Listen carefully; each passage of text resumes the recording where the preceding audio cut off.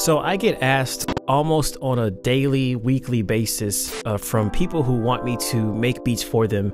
Can I make a beat in a particular style without copying that particular song that they're referencing?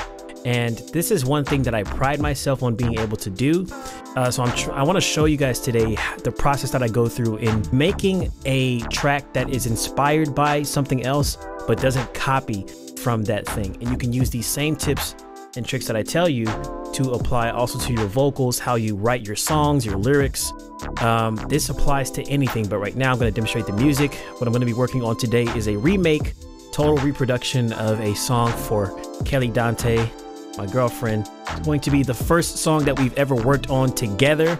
Uh, so I figured I should document this process and me making the beat, and uh, it would be cool to like show that. So um, without further ado, I'm working in Maschine.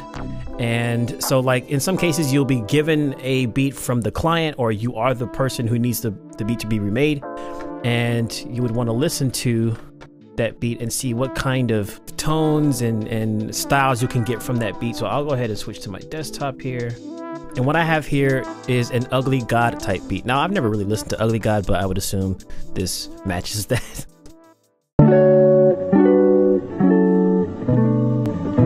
So a lot of guitars so far.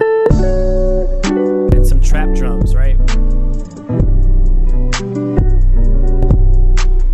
Now, this is a song called Roses and Violets that Kelly has had out before. And the reason why she needs it re released is because a lot of issues with BeatStars and, and copyright nonsense. So we're going to go ahead and recreate this beat for her.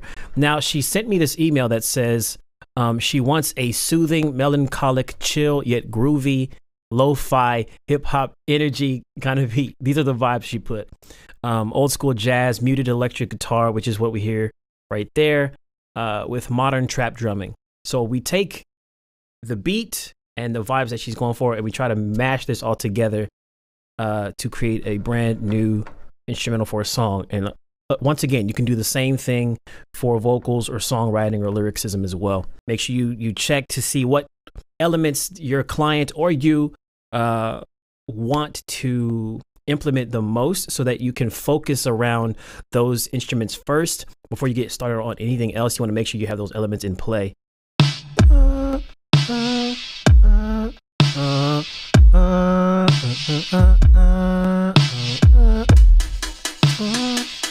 Yeah, that, that slight lag. Oh, I don't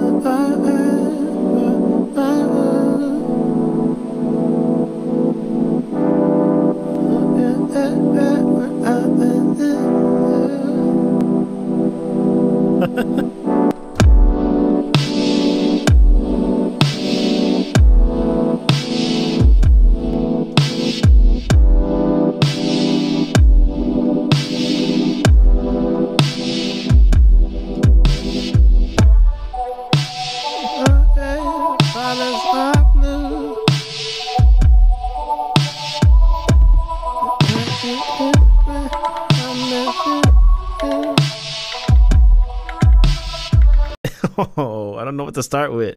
Yeah, let's just start with.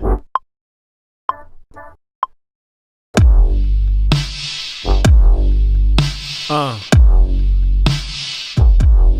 We'll layer some trap drums with this, but it's like this is real vintage lo-fi chill, I would say.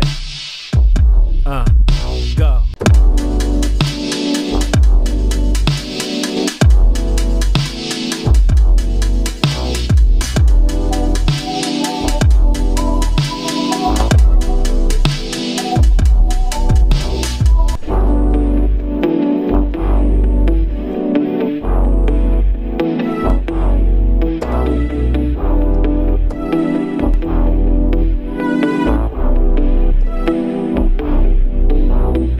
So you see how what I have so far is totally different from what we started with, even though I'm using kind of like the same um, influences. So we have this guitar in here, uh, with here.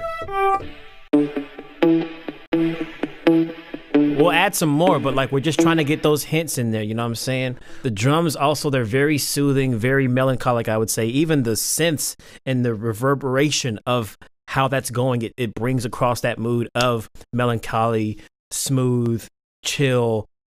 I mean, you see what, what's going on with my dude over here. So now I would say the thing we have to do is to modernize. The drums are already modern, but to add a little bit more of that trap sound.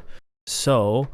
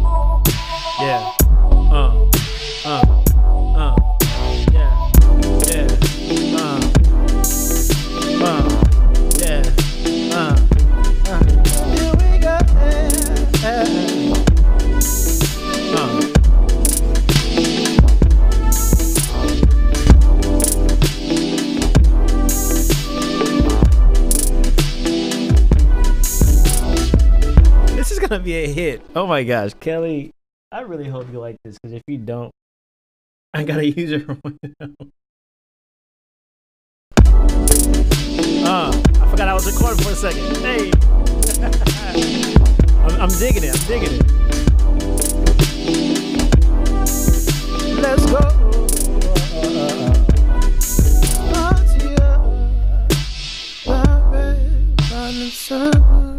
Wait, so.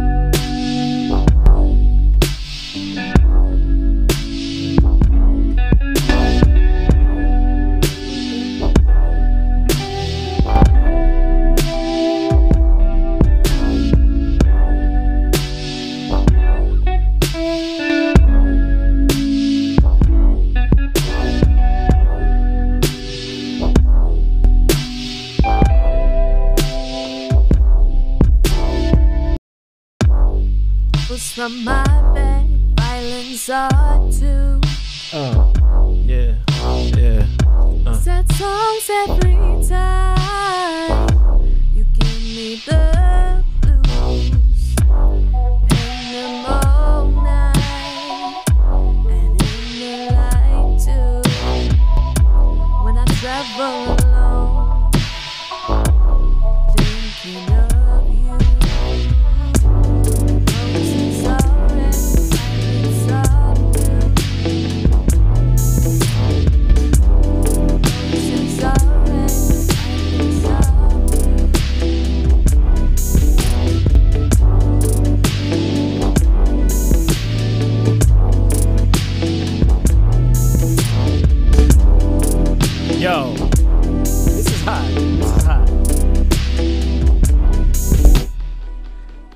So essentially, I mean, you guys see how I was able to take the same vibe of the original Roses and Violets here. The guitar intro, the muted guitar, electric, very chill. And then we came over here with our own guitar. Different progression, same same uh, key. It's just my bar stretches out eight counts instead of just four, a four bar loop. And then right into like the drum programming is definitely a little bit more uh, spacey in the one that I've created, and hopefully she'll like that. But I did want to make sure that I implemented those trap drums, which is where those hi hats come into play here. If I mute everything else,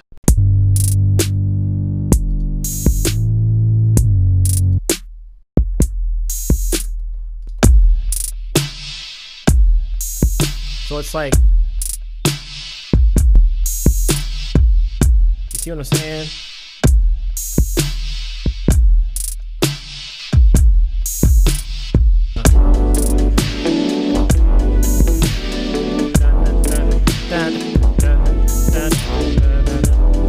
So we'll see if she likes it. I'm gonna send it to her. I thank you guys so much for watching. Uh, leave a like if you found this video to be helpful. Leave a comment if you have any questions or comments about today's video. If you are not subscribed already, please hit that subscribe button. Turn on the bell notifications. Set them to all so you'll be notified every time I upload. Every time I upload a brand new video. And uh, that's it. As always, I appreciate y'all and stay legendary.